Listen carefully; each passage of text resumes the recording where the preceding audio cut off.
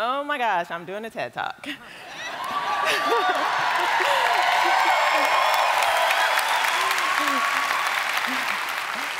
So I was actually backstage doing my two minute power stance. Have you guys seen that one? Okay, I'm lying. It was 20 seconds, but I still did it. So let's see if this works. So just give me a minute because I just want to look at you. So you, you guys are so beautiful, so beautiful. How many of you guys actually believed that when I said it? Oh, nice. I'm really, I'm really stoked that actually believe it. So for the rest of you, how many of you thought, yeah, but, you know, like, yeah, but my thighs, or yeah, but my hair, yeah, but my gut. What about yeah, but my butt, right? so um, I know that a lot of you could come up with those yeah buts, but I'm, I know that we also have a hard time considering that we actually are genuinely beautiful. You see, I have this theory that because we are used to being bombarded with these messages of what we're not, then it almost becomes normal for us to be um, unhappy with who we actually are, right? I think we believe that we would be perfect and you know, enormously attractive if only we could make that bigger, uh, maybe make that a little bit smaller, tuck that under, right? Make that a little lighter, relax that curl, or change that color.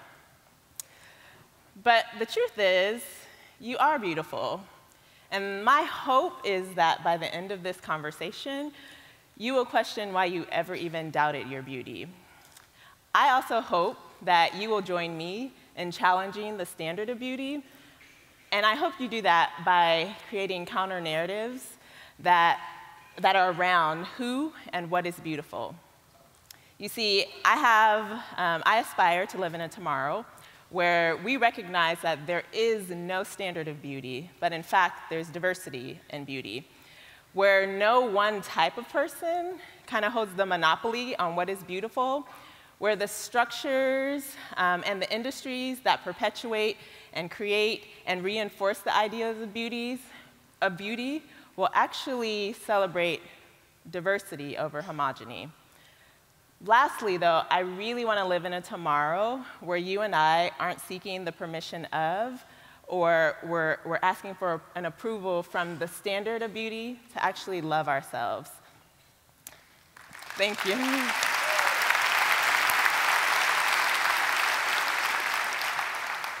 And I really want you to know that this is so very doable. It's so doable. Um, so I believe that the standard of beauty is actually simply a cultural construct. This simply means to me that it's a collection of ideas and thoughts around physical appearance that each generation and each, gener and each culture comes up with and then reinforces it through its music, its art, its media, and even its politics. You see, it's us, we're the culture. We're the one who decides who is beautiful and what is beautiful down to like the littlest thing like shoe size, right? So I would like to suggest that even forming a standard of beauty um, and expecting everyone to kind of live up to that, it does us a disservice because we're creating unreal, an unrealistic and superficial hierarchy of beauty. And I think it's also problematic because it often marginalizes, it alienates, it dismisses, and it often makes invisible entire communities of people. And I think that this is completely unacceptable. So I remember when I was a little girl, maybe about six or seven, I really, really wanted to be beautiful, or I called it pretty back then, right? I remember knowing that being a beautiful woman was so important. I knew it was an essential part of being a woman, and I knew that it was a type of currency that I could use to kind of navigate through the world. I figured out early on that beautiful women received praise, approval, acceptance, and free stuff. And and I really wanted free stuff.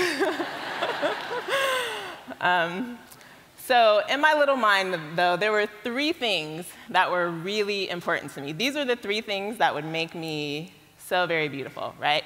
So, the first one was fair skin. And I'm hoping my fair skin. And not any kind of fair skin, but Disney fair skin, right? You know the kind of fair skin that lets you walk through the enchanted forest and sing to woodland creatures? That was the kind of fair skin that I wanted. In other words, I wanted to be white, right?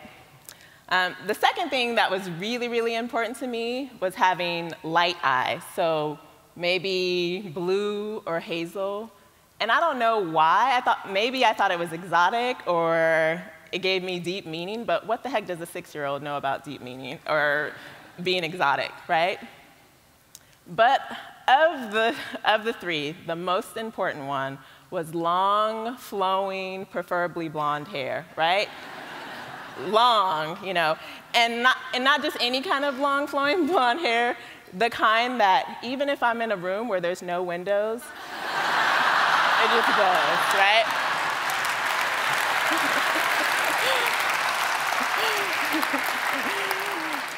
And it makes you like walk in slow motion, and everybody stops and stares at you.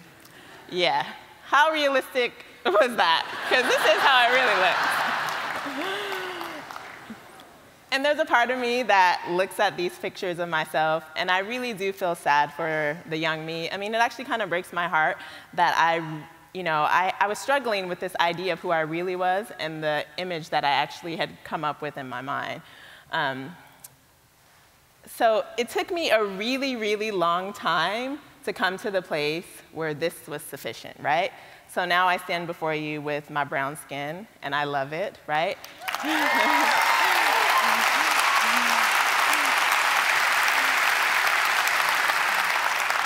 I have these really deep, dark brown eyes. If they're mysterious or not, who cares, right? and most of all, I have this like wind defying hair.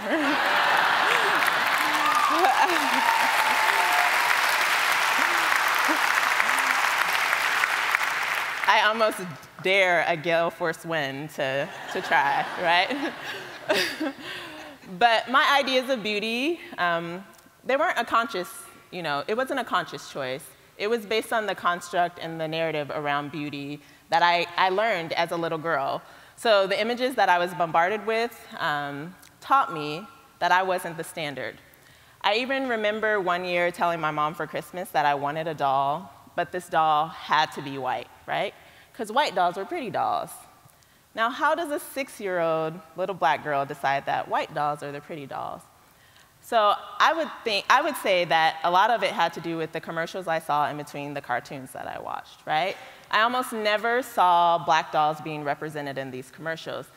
Well, maybe I would see the black version of the white doll at the end of the commercial, but I never saw black girls in the commercial, and I never saw the black, um, the black dolls in the commercial. So I was invisible, right? I didn't see anybody that looked like me. So the, the narrative that I learned as a little girl about the standard of beauty is, I would say, is one that I see perpetuated today. And the narrative goes something like this. A beautiful woman is or has Eurocentric features, you know, like a long, skinny nose. She has fair skin. Um, she has long, preferably blonde hair. She has light eyes. She's skinny and has a feminine frame. She has long legs. Um, she's also cisgendered, right? She's able bodied and she's heterosexual. You know, perfect, right? And I think many of you would agree with me in saying that this standard of beauty is the one that's uh, most often per perpetrated or perpetuated. Um, and what's interesting is that I searched beautiful woman just on Google, and this is what I got. I then searched beautiful woman and almost got the same exact thing, There were a couple Beyoncés and there were a couple pictures of the First Lady, but for the most part, this was the image that I, I saw.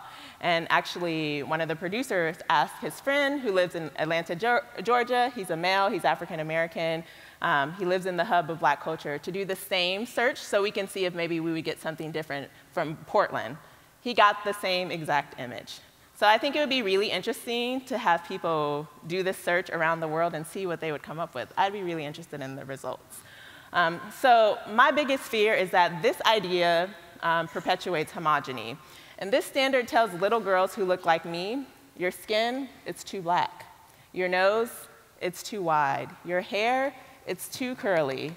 You know, it tells them that their shape is too round. So if it tells me and little black girls this, what does it tell our disabled girls? What does it tell our full figured girls? What does it tell our transgendered girls? You see, I think when we choose not to acknowledge the diversity of beauty or the other forms of beauty that exist in the world, there are real life consequences for those who don't meet those standards, and for all of us, right?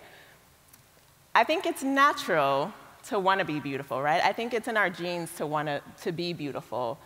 Um, and I think it's normal to want to feel beautiful. I want to feel beautiful. But we are more than the sum of our genes.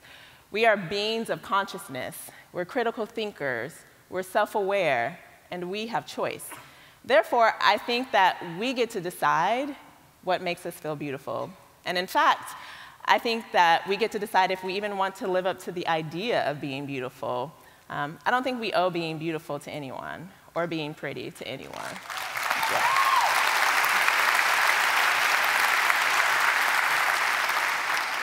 So I want to read you this quote from Erin McKean. And I, every, when I first saw this quote, I was like, yes, and it gives me life every single time. And I thought I would just share it with you. She says, you don't have to be pretty. You don't owe prettiness to anyone, not your boyfriend, not your spouse, not your partner, not your coworkers, especially not random men on the street. right? Like, you don't owe it to your mother, you don't owe it to your children, you don't even owe it to civilization in general. Prettiness is not the rent you pay for occu occupying the space marked female. Right? Ah.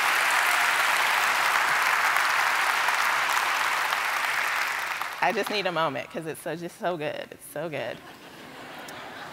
so, but I think what's really hard is that we're rarely given the permission by our culture and even by ourselves to be anything other than the standard or the ideal, right? To be our own beautiful. But it can be done and it has been done, and I'm so excited to share with you what black women have done for themselves. Black women are a great example of a group who decided that our own beautiful was sufficient. right? High five. Black women have changed our minds about how we feel about our hair. And using social media, we have told the world, right? We've decided that we're gonna love our hair and we're gonna wear it the way it grows out of our head.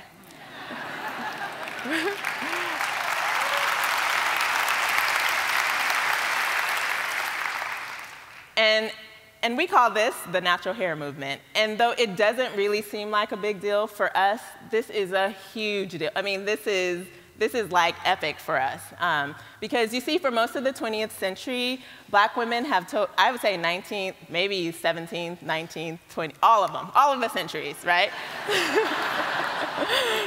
we, have been, we have been conditioned to believe that straight hair equals beautiful hair. And we have, been, we have been conditioned to believe that our curls, our kinks, our waves, our texture need to be tamed. Black women have been taught that our hair is kinky, it's nappy, it's unattractive, it's hard to do, it's wild, it's crazy, it's unprofessional, it's unmanageable, it's, un, it's unpresentable. And the list goes on and on. And there's almost, there's very few adjectives that are positive around our hair in its unprocessed way, in, our, in its unprocessed version. So I would say that most people found the afro beautiful, but for the most part, um, it was considered militant. Um, so we, black women, have gone through so many products and so many lengths to get rid of our natu natural curls. We've made so many people rich in the process of doing so. but something happened at the right time. Black women, we started asking ourselves a couple questions. Why am I putting these dangerous chemicals on my hair? Why do I feel the need to even straighten my hair? Why do I believe that my texture is bad? And in the age of the internet, internet, we started forming online communities around our hair to support one another, to teach one another, to discuss product use, right? We teach each other on YouTube tutorials, and we have like all, all kinds of stuff on Pinterest. Go on there, you'll see. We even started making, um, we even started opening salons that cater specifically to natural hair care, right? And we started making dolls that have natural hair so that our daughters will have something that represents them.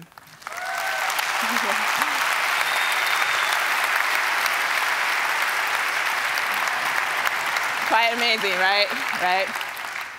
And I also want to add, we have challenged legislation and changed laws around natural hair care in multiple states. So all I want to say is that I'm really proud of us for what we've done. But what we, I would say that the things that we have done have actually flipped the hair industry upside down. So companies that used to make products specifically and only for straightening our hair have seen decrease in profits, and so now they've had to create products that cater to those of us with natural hair.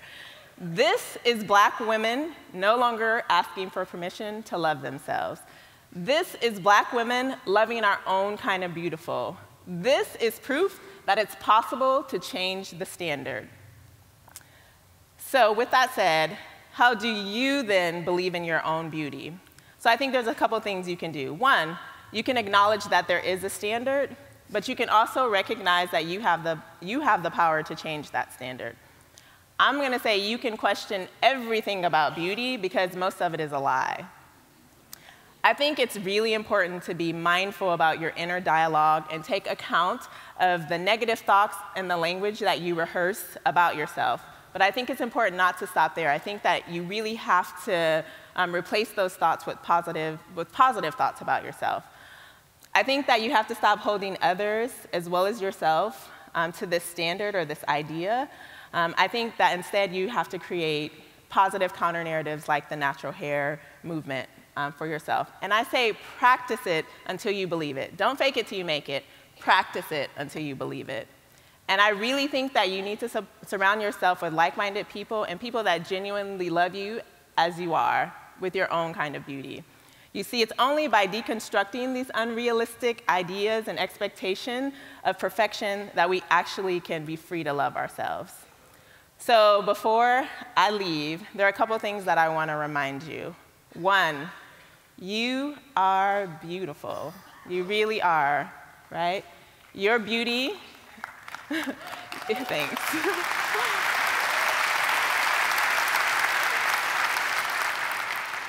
I want you to know that your beauty is valid. And I want you to and I want you to know that your beauty, the one that you choose for yourself, is sufficient. You see, I believe wholeheartedly that you are the only person in all of the universe, in all of time and space, that will get to be you. You are the only one that has that opportunity.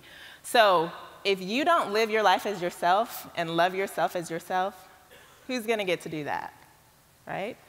So I'm asking you to really think about what that really means. And remember, you have choice. You have the choice to be your own beauty, to be your own beautiful. So I'm challenging you to choose wisely and how you will love yourself.